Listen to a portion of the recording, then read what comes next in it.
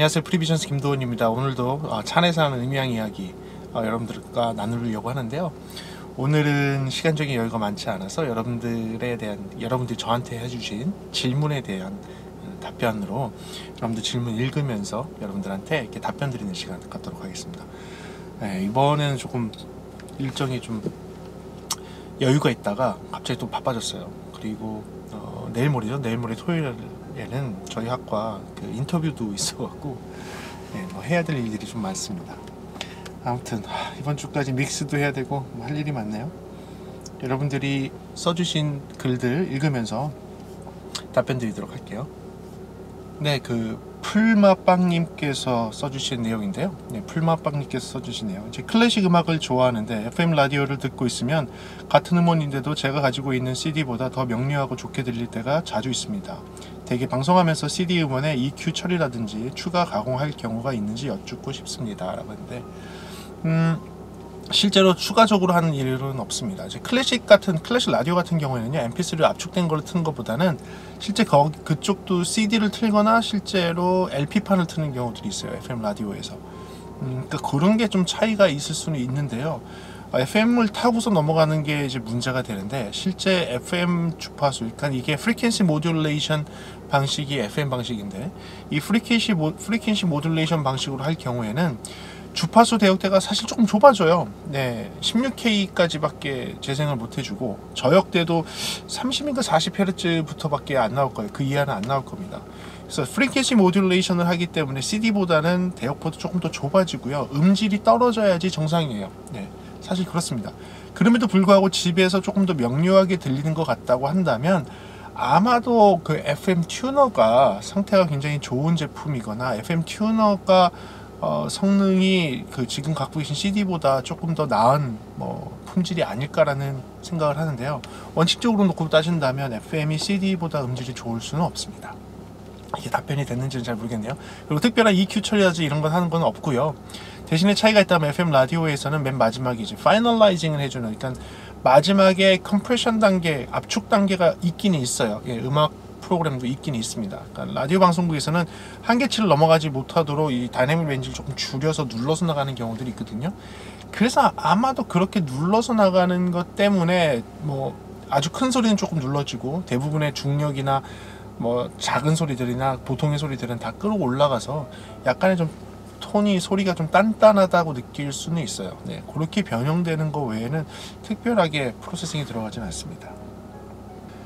네, 정성호 님이 써주신 글인데요. 소니가 밀고 나가는 순금으로 DAP를 만들어 저항을 줄이게 하는 게 실질적으로 의미가 있는나 이제 있는지 궁금합니다라는 말씀이세요. 그 여러분도 아시겠지만 뭐 그 동이 그 금보다 뭐 순도가 뭐 전속률이 더 좋다고 그렇게 얘기하는데 실제로 금도 금 나름이에요. 순도가 높으면 높을수록 저항값이 적어지고 실제로 훨씬 더 좋은 환경을 만들어 주는 게 금입니다. 네, 이런 거에 대해서 그 전에도 뭐 조금 아규먼트가 있긴 했지만 그래서 그 IC 칩이라든지 CPU라든지 메모리 칩에는 금으로 돼 있는 도선을 쓰는 거예요. 여러분들 그래서 컴퓨터를 갖다가 녹이면 금이 나온다 그러죠. 금이 나오는 이유는 뭐냐면 그 일반 구리선보다 구리선은 이제 산화될 경우가 많고 그것 때문에 생기는 여러 가지 부작용들이 있기 때문에 산화가 되지 않는 순금 그러니까 금도 99.999 몇 퍼센트인지 모르죠. 아주 순도를 높인 거를 사용을 해야지만 아주 어, 높은 그 메모리 양을 갖고 있는 그런 칩들을 만들 수가 있는 거거든요. 그래서 뭐 삼성이나 여러 회사들이 대부분 금을 이용해서 하는 거예요. 이 금을 이용했을 때의 장점은요. 있습니다. 금이 큰 출력의 전기를 전송을 하는 데에는 그렇게 큰 의미는 없어요. 하지만 금은 아주 미세한 전기를 흐를 때에는 아주 그 미세한 그 저항 차이가 차이를 보이거든요. 항상 상대적인 거거든요. 그러니까 볼티지가 높은 100볼트나 200볼트 뭐 이런 식의 높은 볼티지에서 미세한 저항 같은 경우는 voltage에 아무런 영향을 주지 않아요. 뭐 있긴 있지만 너무 상대적으로 미비한 거죠. 하지만 그런 프로세서 안에서 사용하는 전력 같은 경우는 이제 볼트 단위 자체가 5볼트 미만이에요. 그러니까 막 1볼트, 0. 몇 볼트 이런 것들 갖다 처리하는 거거든요. 오디오 신호 같은 경우 작을 경우에는 1000분의 1볼트까지 된다 그랬잖아요. 그러니까 이렇게 미세하게 1000분의 1볼트 단위처럼 아주 미세한 거를 다룰 때에는 그 그런 금 같은 순도가 높은 아주 순도가 높은 금을 이용을 해서 저항을 줄이는 것이 의미가 있습니다. 없진 않아요. 하지만 제가 의미가 없다고 보통 얘기했을 때는 어떤 경우를 얘기를 하는 거냐면 기기 간의 전송을 할 때 또는 스피커 간의 전송을 할 때에는 볼티지가 생각보다 높아요. 네. 네. 기기 간의 전송을 할 때도 대부분 1V 이상의 볼티지를 사용을 하고요. 마이크 신호 같은 경우는 다르지만 마이크 신호는 1000분의 1V 단위 그러니까 밀리볼트 단위를 쓰는데 라인 레벨 같은 경우는 뭐 볼트 단위 1볼트 이상 단위를 쓰거든요. 그러니까 이제 레벨이 1000배 정도 차이가 나는 거죠. 그리고 이제 스피커 케이블 같은 경우는 그거보다 훨씬 높은 볼트 단위를 써요. 높을 때는 100볼트가 넘어가거든요. 그러니까 뭐 네, 차이가 크겠죠. 그래서 그럴 때에 얘기하는 저항과 신호를 처리하는 장비에서 얘기하는 저항은 상대적으로 신호를 처리할 때 훨씬 더 민감하게 반응하는 것은 맞습니다. 어, 이제 고진성 씨가 얘기해 주신 게 이제 외국, 유럽이나 미국, 그렇죠? 어, 외국과 국내에서의 음향에 대한 인식 전반과 대우에 대해서는 어떤 차이가 있는지 궁금합니다. 국내에서는 깊게 공부해야 하는 분야임에도 그만큼 인정받지 못하는 것 같아서 궁금합니다. 라고 했습니다.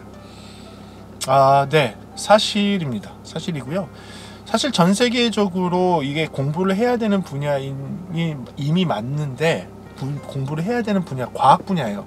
엄연히 과학 분야입니다. 예, 과학 분야가 맞는데 음악을 하는 사람들이 들어오는 경우가 너무 많거든요. 물론 음악을 하는 사람들이 갖고 있는 큰 장점들이 있어요. 잘 음악을 잘 듣고 분석할 수 있는 능력이 있기 때문에 그분들이 들어오는데 문제는 뭐냐면 이제 음악을 많이 하시는 분 다 그런 건 아니지만 음악을 주로 하시는 분들이 들어왔을 때에는 공부를 하지 않고 하려는 경향들이 있어요. 깊게 드립하면서 공부를 하면서 해야 되는데 음향학도요.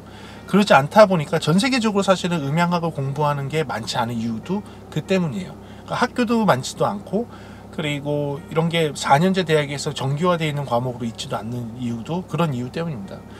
어, 전 세계적으로 더 마찬가지고요. 우리나라는 더 심해요. 네, 우리나라는 더 심합니다. 네, 더 공부하네요. 네. 심지어 외국은 그래서 자격증 제도라는 게 있어요. 제가 미국에서 자격증을 딴 이유도 그건데 자격증 제도가 있어서 어느 정도 자격이 되는지를 갖다가 자기의 수준을 판별할 수 있는 그 이런 시험 제도들이 있습니다. 그래서 그 시험을 통과를 하게 되면 어느 정도 수준이 되는 엔지니어라는 게 인증을 받게 되거든요. 인증서가 있는데 국내에도 인증서가 있어요. 저도 이제 1급 자격을 갖고 있습니다. 근데 이게 법적인 구속력이 없는 인증서예요. 인증서를 갖고 있어도 음향학회에서 발, 아, 발행한 인증서를 갖고 있어도 법적으로 이렇게 쓸 데가 없어요. 네. 그게 문제예요. 이게 제도화가 되고 법적으로 됐다면 아마도 이런 공부라든지 이런 게 조금 더 좋게 됐겠죠. 근데 아직까지는 우리나라는 외국에 비해서도 더 그런 게 열악하다는 게 사실이고요. 또 한 가지 이제 페이에 대해서 얘기를 하면 아 이런 얘기를 하면 진짜 좀 좌절이 됩니다. 어, 임금 차이는 외국하고 우리나라하고 비교하면요 적을 때는 한 두 배, 많을 때는 열 배 정도 차이가 납니다. 네, 임금 어, 많이 나요. 네.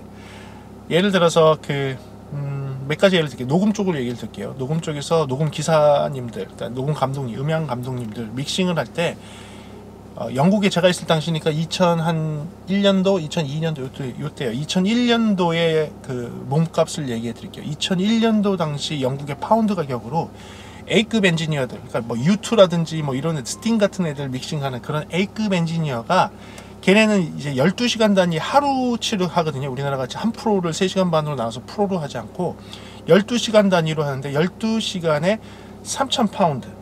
그때가 2,000원 할 때였어요. 뭐, 뭐 1파운드 2,000원 할 때니까 그 당시는 하루에 600만 원. 네, 하루에 600만 원. 지금의 환, 환전으로 치면 한 네, 400에서 500만 원 정도 되겠네요. 네, 500만 원 정도 될 거예요. 한 하루에 네, 하루에 하루에 그 정도. 그리고 B급 엔지니어들. house engineer라고 그러는데 이제 그 뭐 스튜디오에 상주를 하고 있으면서 잘하시는 분들이죠. 믹싱을 대신 해주는 사람들. 어, 스튜디오에 소속돼 있고 믹싱은 스튜디오에서 가장 잘하는 사람으로 불려지는 사람들. 그리고 B급이라고 하기도 좀 그렇지만 아무튼 뭐 A급이죠. A급인데 그분들이 보통 하루에 한 1000파운드에서 1500파운드? 그러니까 하루에 150만 원에서 한 200만 원 정도 벌었어요.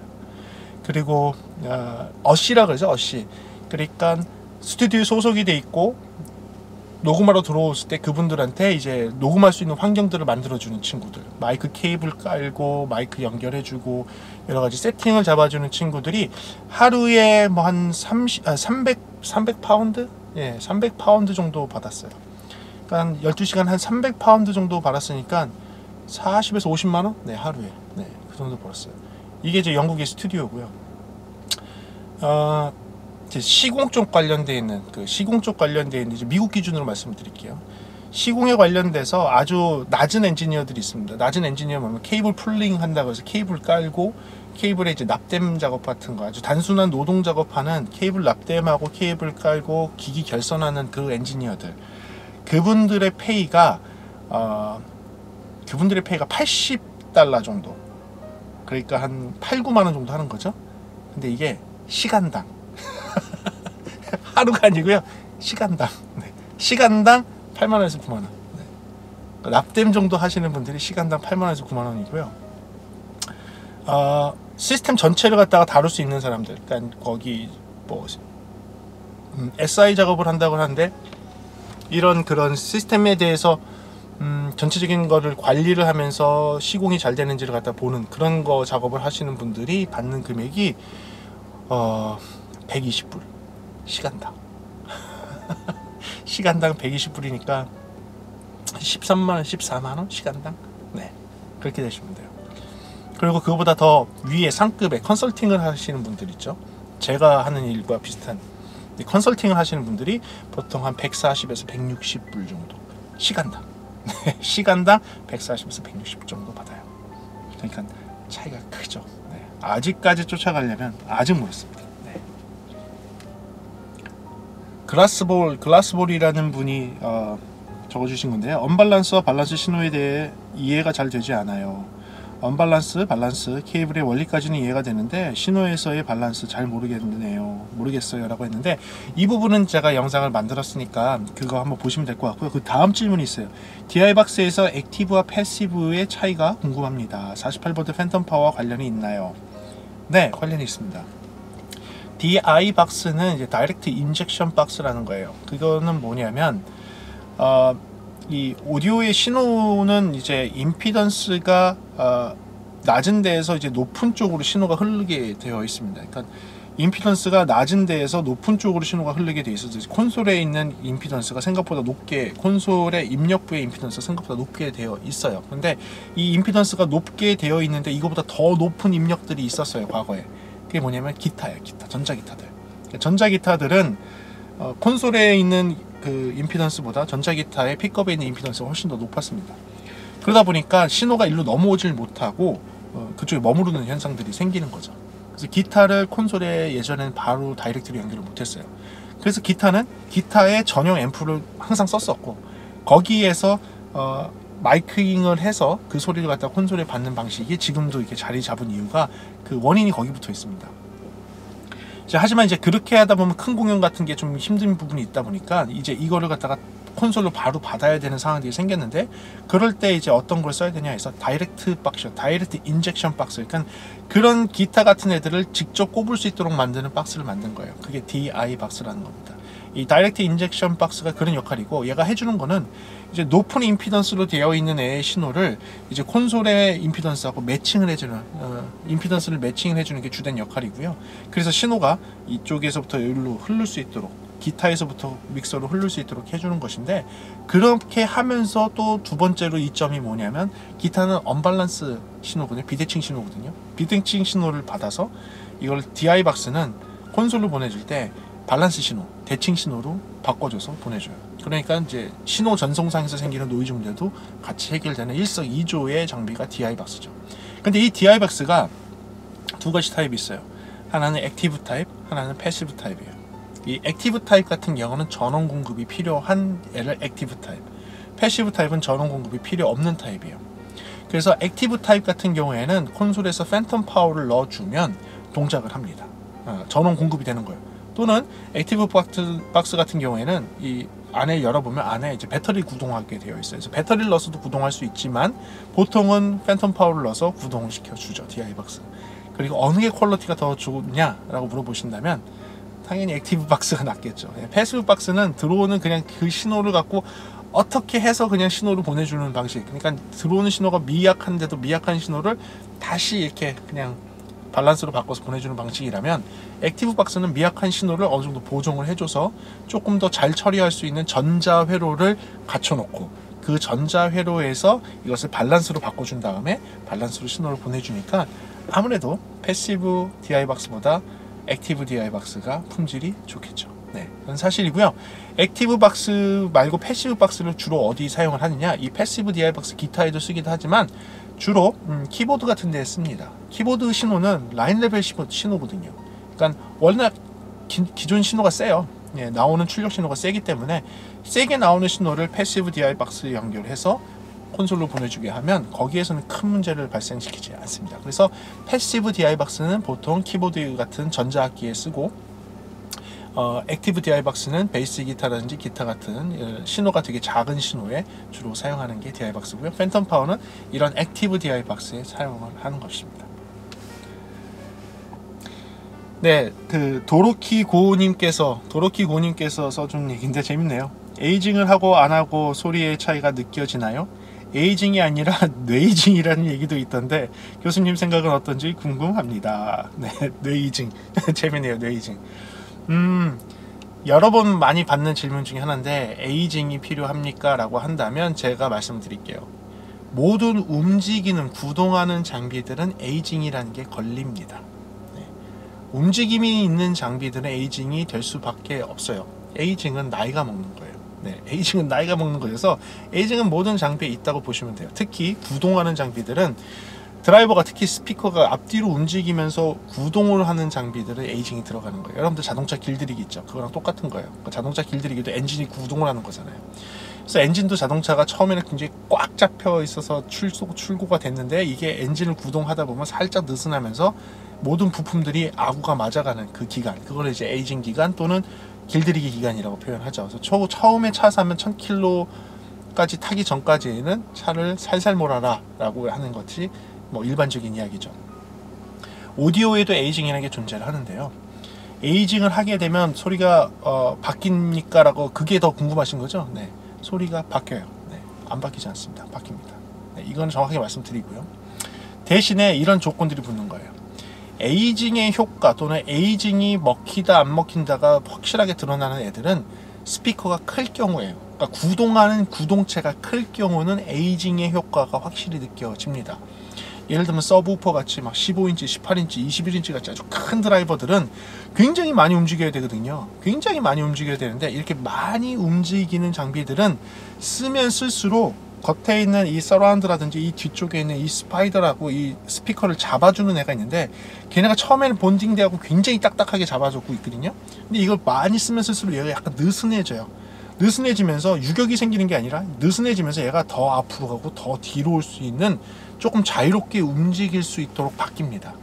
그래서 드라이버가 좀 더 처음에 움직이는 것보다 좀 더 많이 앞뒤로 움직이고 자연스럽게 움직이게 되죠.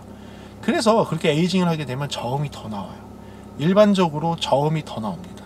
네, 저음이 더 나오고요. 드라이버가 작아지면 작아질수록 앞뒤로 움직이는 간격이 많을까요, 적을까요? 적어요. 네, 그래서 드라이버가 작아지면 작아질수록 이런 에이징 때문에 생기는 효과는 적어요. 점점 점점 작아져서 헤드폰이 될 수도 있고 그렇죠? 점점 점점 작아서 이어폰이 될 수도 있죠. 그러면 에이징의 효과는 적어요. 네. 이어폰에서는 거의 없다고 보셔도 무관합니다. 물론 아주 민감한 분들은 느끼실 수 있죠. 예, 아주 민감한 분들은 느끼실 수 있지만 제가 말씀드린 일반적인 상황에서는 큰 드라이버일 경우에는 쉽게 느껴요. 진짜로 그래요. 그러니까 제가 어디 뭐 큰 시스템을 설계해 놓고 처음에 튜닝을 한 다음에 6개월이 지나고 나면 보통 전화를 받아요. 6개월 후에 저, 보통 전화 받습니다. 어우 예전보다 저음이 더 많이 나와요. 소리가 좀 많이 답답해졌어요. 이런 얘기를 많이 들어요. 그 이유는 에이징이 된 거예요. 그래서 저음이 더 많이 생산이 생, 재생이 되다 보니까 조금 답답하게 소리가 들리기도 하거든요. 이런 경우는 아주 큰 시스템에서 그래요. 큰 시스템에서 그러고 작은 시스템 같은 경우는 크게 예, 영향받지 않습니다. 집에 홈오디오들은 뭐 영향 받을 수 있어요. 뭐 10인치나 12인치 드라이버들을 쓰는 데다고 한다면 에이징 필요해요. 에이징이 되면 소리가 바뀌거든요. 네, 실제로 바뀝니다. 그렇지만 작아져서 헤드폰 헤드폰까지는 에이징 네 어, 그럴 수 있어요. 작아서 이어폰으로 한다면 이어폰의 진짜 드라이브 크기 진짜 너무 작거든요. 거기서 그걸 느낀다 음, 생각보다 어려울 것 같아요. 네. 네 오늘은 여기까지 할게요. 여러분들한테 가급적 너무 긴 영상을 찍는 것보다는 이렇게 짧은 영상을 자주 여러분들하고 만나 뵙는 게 좋을 것 같고 여러분들이 이렇게 질문 올려주시면 질문에 대한 것도 바로바로 대답해 드릴 수 있는 시간을 적어도 일주일에 한 번 정도는 가질 수 있도록 노력을 하겠습니다. 노력을 하겠습니다. 노력을. 제 업무가 제 시간이 허락하는 한 최대한 노력하겠습니다. 그래요. 오늘은 이렇게 그 글 써준 거에 대해서 어, 여러 영상을 찍어봤고요. 여러분들도 저 커뮤니티 사이트 제 채널에 들어오면 커뮤니티에 보게 되면 좀 아래쪽에 가시면 질문을 하는 데가 있습니다. 이 질문에 댓글을 달아주시면 그 질문 내용을 보고 그 중에서 제가 대답을 해드려야 될 수, 해드릴 수 있는 내용들은 바로바로 발췌해서 여러분들한테 이렇게 영상으로 답변해 드리도록 할게요. 그럼 다음 시간에 뵙도록 할게요. 다음 시간에는 좋은 영상, 좋은 음향 정보 또는 좋은 리뷰로서 여러분들한테 다가가도록 하겠습니다. 지금까지 프리비전스였습니다. 감사합니다.